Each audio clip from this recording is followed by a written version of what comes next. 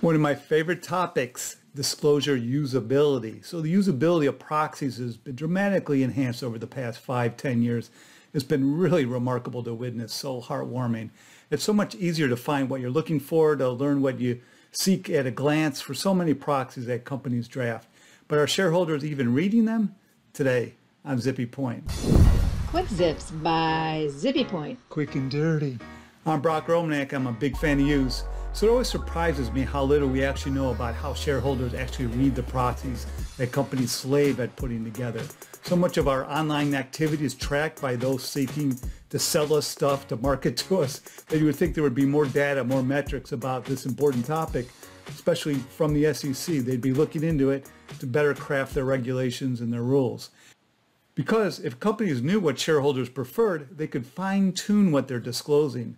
Since I really don't have any information about how retail shareholders review proxies, I can't even really speak to that topic. I really don't have any idea, other than in my own capacity as a retail shareholder, where I get the proxy. Actually, I look at it a little bit since I'm in this field, but otherwise it would be toss, right? Whether I got it electronically or in paper.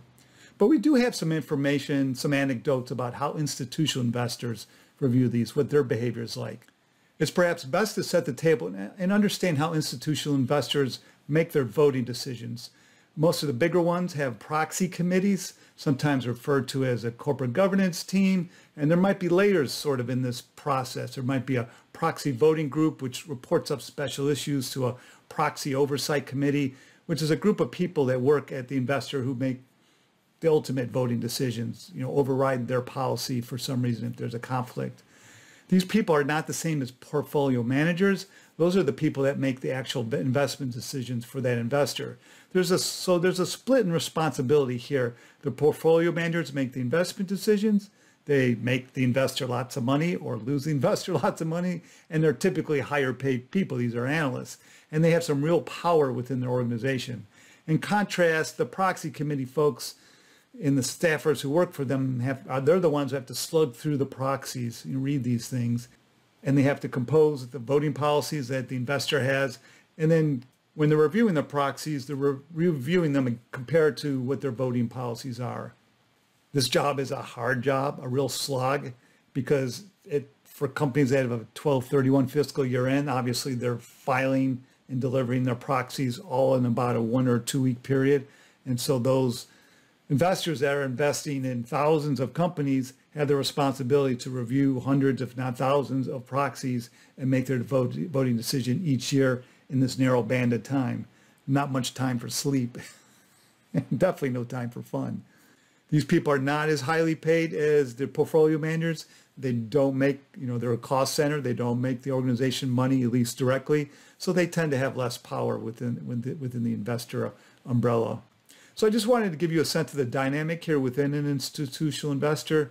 The people making the voting and investment decisions are purposefully separated to eliminate any potential conflict of interest in the voting process.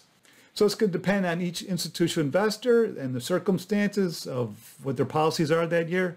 But, you know, loose average is that a staffer, so a lower level staffer, if the investor is big enough or has enough people in the department to have lower levels, might spend 20 minutes reviewing the proxy, maybe more if there's big stuff brewing, brewing at that company, particularly as it relates to the issues that that investor cares about, and maybe quite a bit less if there's not. And also perhaps less if it's that period of time when there's that big crush of all the proxies coming in at once for the 1231 companies.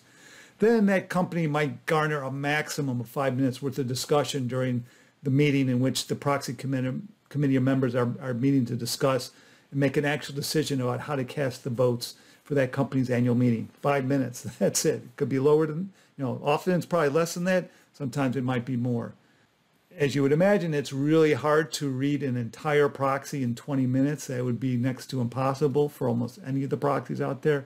So it's not surprising that Donnelley Financial Solutions, DFIN, known as RR Donnelley, back when it conducted this survey of how institutional investors review of proxies back in, I think it was 2013, ahead of the 2014 proxy season, found that only 6% of institutional investors said that they re- review an entire proxy.